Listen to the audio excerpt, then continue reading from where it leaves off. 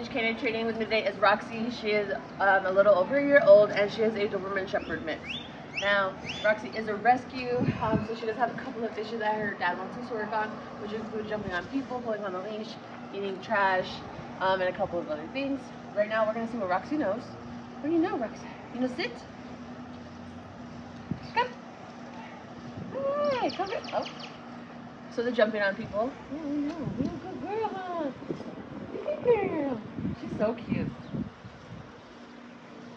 She's also not the friendliest dog with other dogs, so she's a bit reactive. We're gonna work on that as well a little bit. Focus on our basic obedience though, huh? Let's see. Sit. Gone. Alright. Rocks. Rock socks.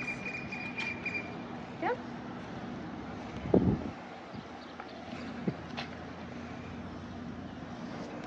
no down, no bite either. Alright, what about place?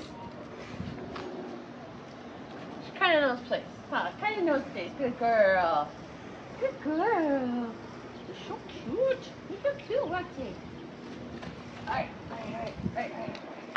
Alright, alright. Let's try heel, okay? Heel. Heel. Heel. Heel. Heel. Heel.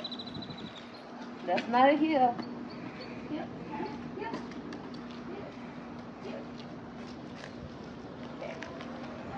Alrighty guys, so as you can see Roxy doesn't really have much knowledge about training or anything. That's okay, no worries. We're going to go ahead and work on that um, within the next two weeks with her basic obedience training and a little bit of um, really getting to socialize her so she can be a little less reactive, okay?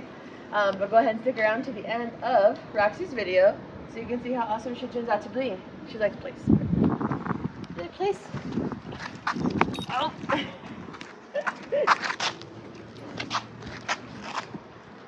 Snubbins, come here.